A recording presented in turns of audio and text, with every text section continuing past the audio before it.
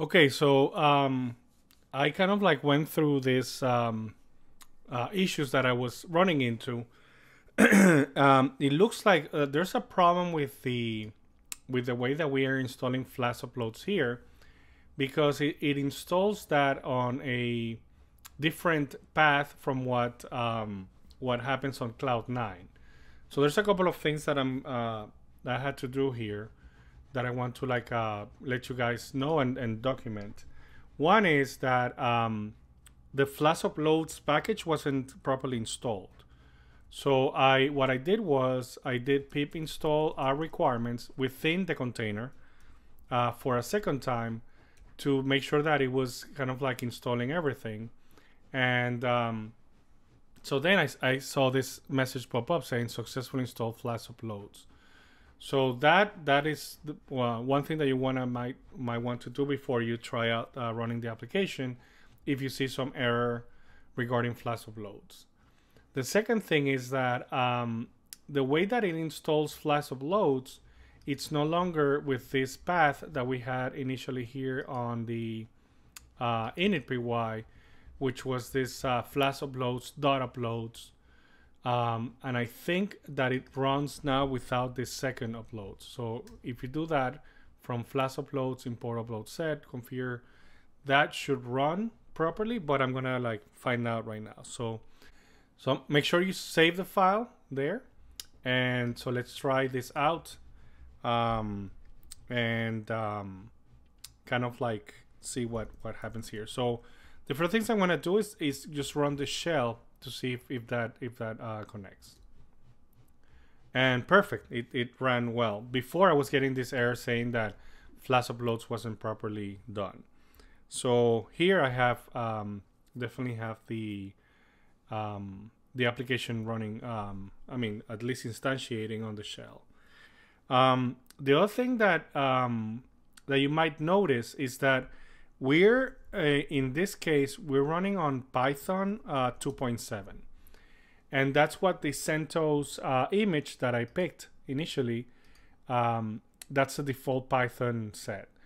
I'm not sure if the there's a newer CentOS version. Uh, maybe at this point, maybe there's a CentOS 8, but I'll leave you guys to find that out. Uh, that maybe comes with Python 3 as the as the default. But for that Python, for that CentOS image 7.0, definitely Python 2.7 was still the default, and um, making it uh, Python 3 would entail kind of like complicated things. Uh, that I, I don't want to get into necessarily. In theory, the application should run fine under Python 2.7, but um, I guess we're gonna have to find that out um, in the in the you know next few kind of like um, steps that we're gonna take. But uh, so having said that, um, the other thing that that I want to make sure is that we need to um, uh, create the database so that we can we can do the um, the operations with the database. So uh, let's see how we do that. Okay, the first thing I want to do is create the uh, blog database because we don't have it um, set up.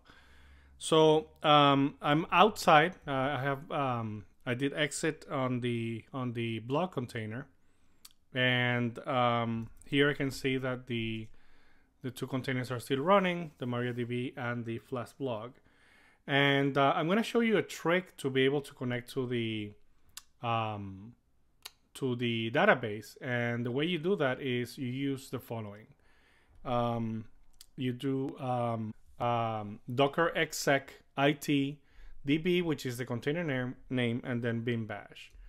And now, right now, we're inside of the the uh, the Docker container, but now we need to do um, kind of like a hack to be able to um, to get into the the the terminal of the of the database. And the way you do that is you use the following: you do export um, term equals dollar sign and then uh, curly brackets uh, term and then dash dumb and that will allow you to have a kind of like a terminal variable set, which is required for the MySQL command to run. Uh, this is kind of like uh, something that you you don't need to like understand very well. It's just like um, it's a it's a workaround to be able to connect to the MySQL um, database within the container.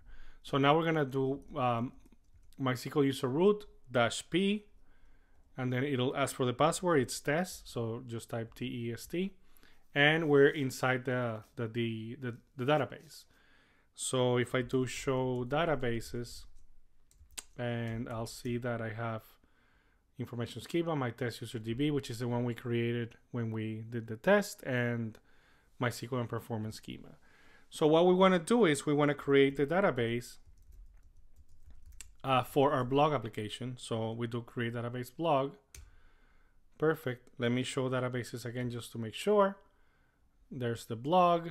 So um, so we can exit from here. So just do exit and then exit again and we're back on a on our terminal. So let's go back to the um, to the blog application and remember it's docker exec it blog bash. So we're we're back inside, and what we want to do now is we want to um, do the migration um, init um, so that we create the tables with the with all the kind of like the models of our application. So the way we do that, I'm gonna um, do the following. I'll erase the versions that I have here and that PyCache as well. And so that will put the the um, the migrations into a kind of like init initial kind of like uh, basis, right? And uh, if you remember from Flask Migrate, uh, we need to do db init first so that uh, the versions are um, kind of like initialized. So let's see if that runs. So I'm gonna do Python manage py um, db init Um, so it says migrations already exist. So I need to um, basically need to delete this this folder altogether. So I'll delete that. and let's run it again. Okay, so that worked. Now I have the migrations. And remember that we had this little edit. They need to edit this MPY um, with compare type equals true see. Uh, oh, I think it's it's already set. That's weird. Maybe they fixed that on the on the latest migrate. Remember that we had to put this compare type equals true. So I think that looks that looks okay now. Um, but I just had copied and pasted this in case we needed to to add that. So I guess we don't need that anymore. And delete this. Um, okay, so we have the version. So now we need to do the migrate, and that's where the actual um, tables should be created. So let's hope this works. Perfect. It looks like um, it looks like it's um, it created the proper things. Uh, let's see the versions. So I have the versions here. Well, I guess he hasn't done it on the database. He just created the um, the definitions for the author, category, blog, and post. Okay, so now really this is it. We're gonna do upgrade, which means it needs to talk to the database and create the tables. And wow, looks like it worked. Amazing. So that's good. That's good. That's, that's a good sign. So that means that our tables potentially or hopefully are created on the on the database container. So um, the last thing we, we are going to do now is uh, run the application and see if it's if it's running.